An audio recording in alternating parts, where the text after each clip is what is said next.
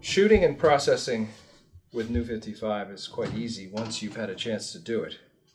First time, it's always a little tricky to get used to it.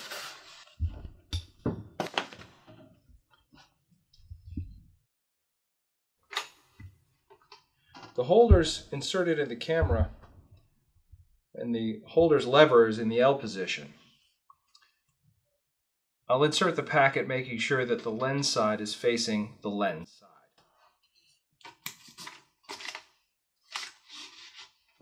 And I'll make sure that the clip attaches to the finger with a little click.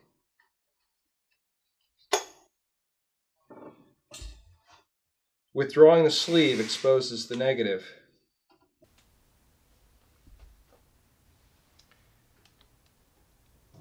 And I make my exposure. Then return the sleeve into place. Now I set the lever to process P and withdraw the packet.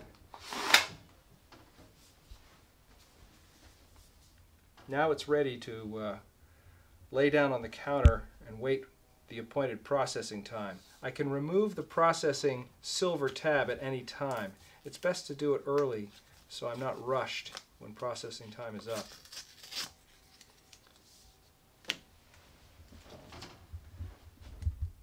When processing time is up, I'm going to remove the tongue assembly from the sleeve. And I'm going to make sure that I minimize the exposure of the negative before fixing to light by holding the print facing down so the negative faces away from the light. And I'm going to do something very important. When I peel the print off the negative, I'm going to keep the negative facing down and immediately drop the negative and the tongue assembly into the fixer. It's very important to get that negative face down into the fixer right away. And then I can remove it from the tongue assembly, peeling it off. And then taking care not to scratch the soft emulsion, I can make sure I peel away the residual adhesive that's on the back of the negative.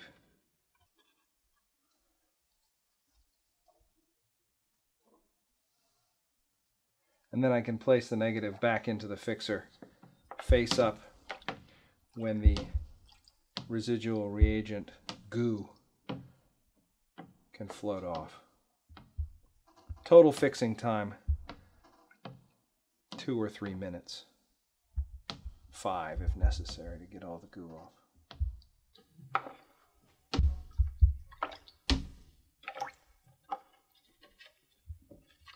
And then I drop the negative in some fresh clean water and rinse for at least five minutes, just like I would in the darkroom.